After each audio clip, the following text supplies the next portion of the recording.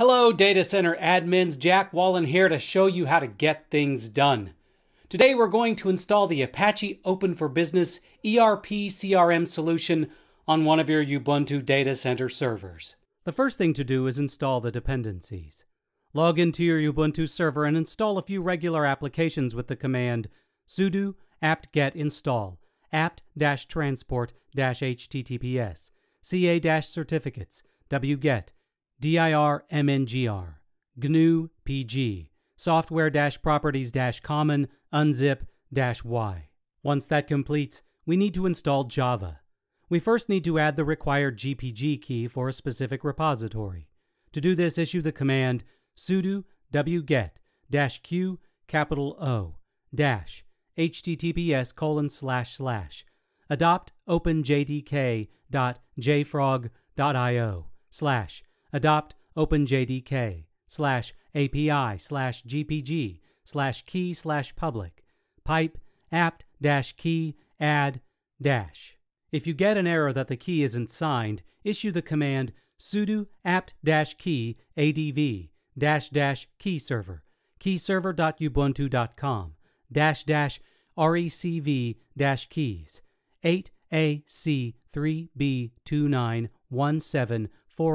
8ac3b29174885c03.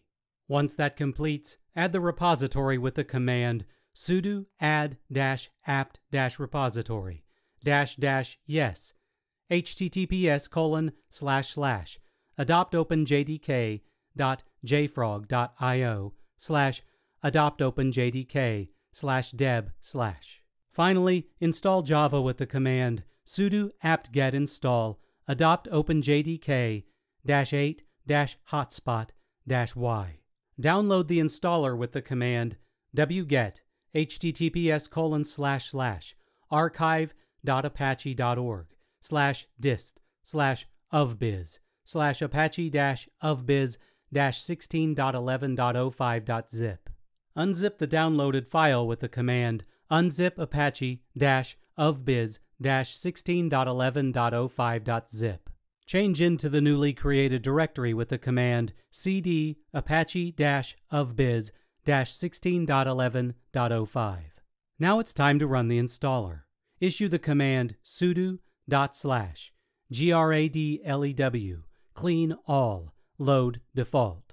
When that finally completes, you'll see the build was successful. Seed the installation with demo data with the commands sudo dot slash gradlew double quote ofbiz dash dash load dash data readers equals seed double quote sudo dot slash gradlew double quote ofbiz dash dash load dash data readers equals seed comma seed dash initial comma ext double quote. It's time to start Apache ofbiz. Do so with the command sudo dot slash gradlew ofbiz.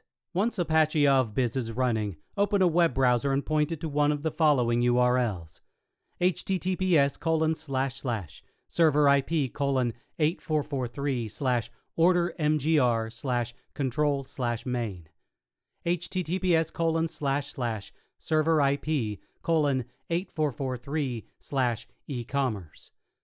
Https colon slash slash server IP colon 8443 slash web tools https colon slash slash server IP colon 8443 slash catalog where server IP is the IP address of your hosting server you'll be presented with a login page where you use the default credentials admin ofbiz. If you want to learn more in the ways of everything tech, be sure to subscribe to our TechRepublic YouTube channel and watch more how-to videos at How to Make Tech Work.